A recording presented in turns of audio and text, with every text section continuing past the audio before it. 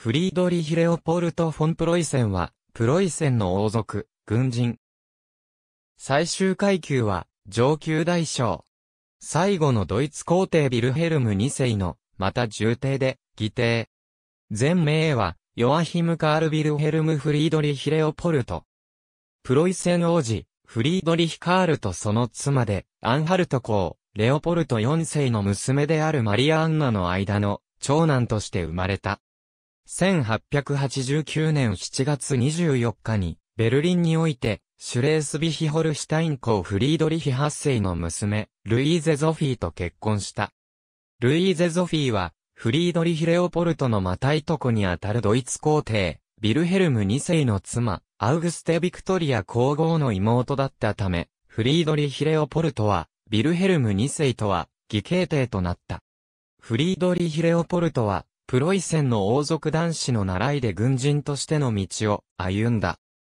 1875年には10歳で、士官学校生となると同時に、王族身分のものとして、形式的に、ポツダムの第一この F 表連隊の勝位に任官したが、規定通り連隊の越兵式にのみ参加するだけだった。フリードリヒ・レオポルトは1885年には、中尉、1888年には、大尉、1890年には、少佐、1893年には、大佐と順調に出世した。1887年に、日本を訪問している。そして大佐に昇進したその年に少将となり、この江軍第一軽騎兵旅団所属の強行騎兵連隊の司令官を任された。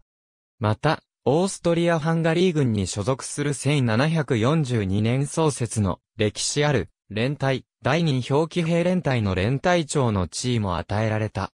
1898年には中将に昇進し、ポツダムの軽騎兵視察官にも任じられた。1902年には騎兵大将を兼ねた。1904年から1905年にかけての日露戦争ではロシア軍参謀本部の軍事顧問を務めている。1907年には、軍の総監となり、1910年9月10日に、上級大将に進んだ。1886年、フリードリヒ・レオポルトは、ベーゼル市の市民保護団体の講演者となっている。フリードリヒ・レオポルトは、ホーエンツォレルン家の中では、フリーメイソンのプロイセン支部を支援した最後の人物だった。また彼は大のギャンブル好きで、カジノに頻繁に出入りし、そのせいで父から相続した財産の一部を売却せねばならなくなった。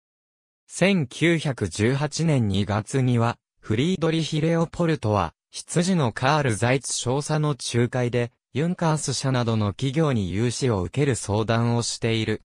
第一次世界大戦後、西プロイセンの大部分がポーランドに割譲されることになったが、大戦前までのフリードリヒレオポルトの領地で、フラトフ軍の一部に属するクロヤン家は新たに創設されたプロイセン自由州、ポーイコールベストプロイセン県に組み入れられた。